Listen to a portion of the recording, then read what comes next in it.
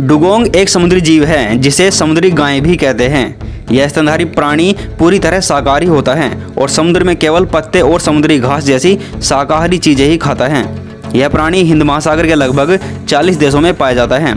इसका शरीर बेलनाकार होता है और पूंछ डॉल्फिन की तरह होती है। एक वयस्क डुगोंग की लंबाई करीब तेरह फीट और वज़न 400 किलोग्राम के आसपास तक हो सकता है।